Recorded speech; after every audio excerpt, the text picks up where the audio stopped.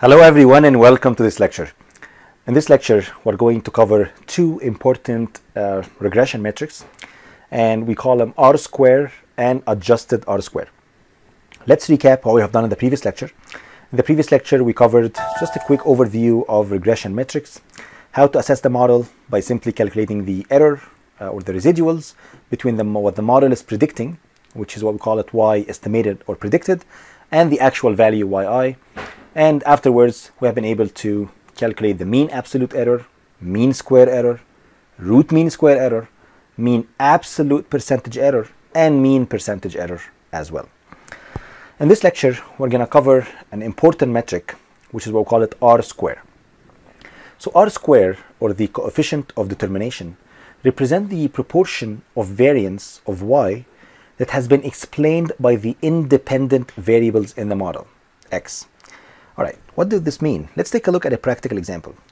Let's assume that we have here our ice cream cart, and let's assume we have our temperature and revenue. Uh, we plotted all the data points, and we came up with this linear model. If we go ahead and calculated r square, okay, and we let's say came up with an r square equals to 80. Okay, what does this mean? This means that 80% of the increase in the ice cream cart revenue is due to the increase in temperature. And that's very, very important element. So now, basically, here I've selected only one independent variable, temperature, and I, am tracking the revenue changes.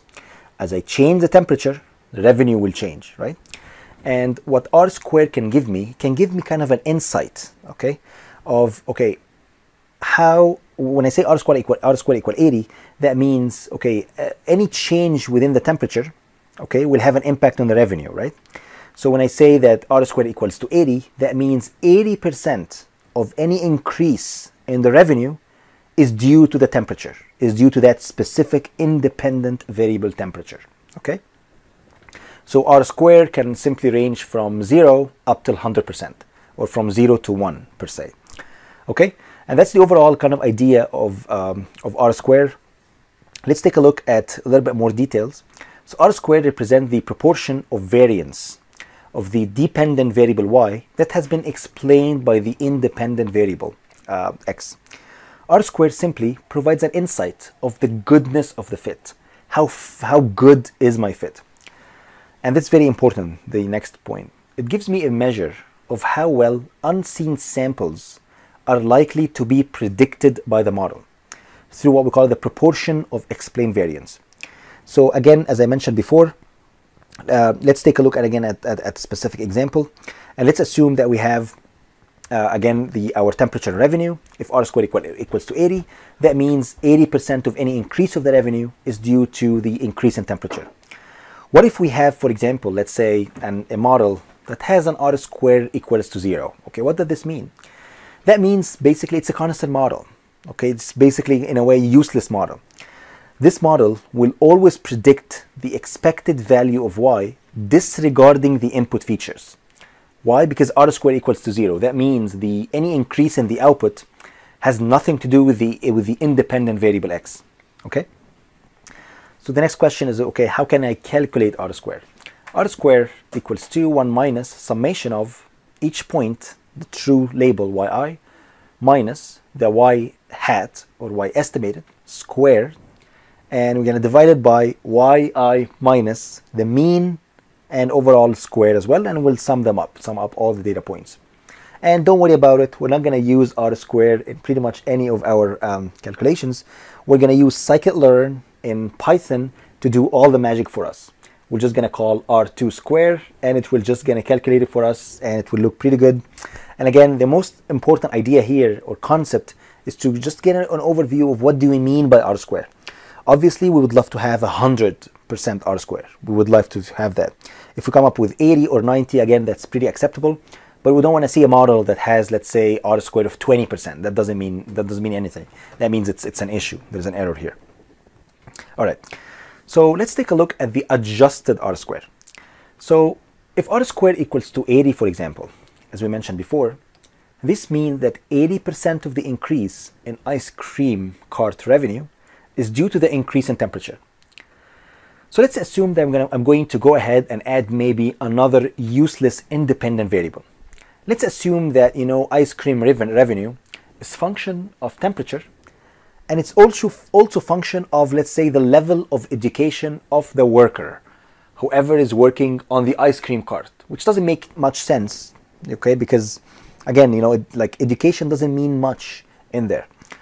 So let's take a look at, um, at the graph. So as you guys can see here, now I have my temperature, I have my revenue, I got that model, everything looks good, and r squared was equals to 80. And what I'm going to do is I'm going to add here another axis. So this is x, this is my z value now, or z axis now. Here I added another parameter, or another independent variable, y, and I call it education of worker. Okay, and what you guys can see in general is that when you add an additional independent variable, in general, you will find that r squared goes up. It increases. So the more independent variables you add, you will find that r squared will go up as well. So now r squared increases and become r squared equals to, let's say, 85%. So you will say, oh, wow, that's amazing. Let's add additional independent variables. So the more independent variables you add, you might say, wow, the, that's amazing. R squares are, R squared are going up. Unfortunately, okay, some of these parameters might be eh, might be useless, like this one, education of workers. It has nothing to do with the revenue, okay? So, and that's why we calculate what we call it adjusted R square. So, as I mentioned, one limitation of R square is that it increases by adding independent variables to the model, which is misleading since some added variables might be useless like you know in our example our number uh, our level of education of the worker. So they have when i say useless that means they have minimal significance okay? So adjusted r square overcome overcomes this issue by adding kind of a penalty. If we try to add an independent variable that does not improve the model. So if i added an additional parameter and that parameter does not improve my model okay we are going to penalize it. And that's why we're just going to think of it as, you know, like the gain that came out of this independent variable addition have to outweigh the um, the uh, the impact that we actually added an additional independent parameter. And that's why you will find that the R adjusted or adjusted R square is kind of a, a little bit of a modification or modified version of R square. So first we're going to add R square and then we're going to make a little bit of modification to it. And let's take a look at, at the equation. r squared adjusted equals 2 1 minus 1 minus r squared multiplied by n minus 1 divided by n minus k minus 1, where k is the number of independent variables, okay, and n is the number of samples.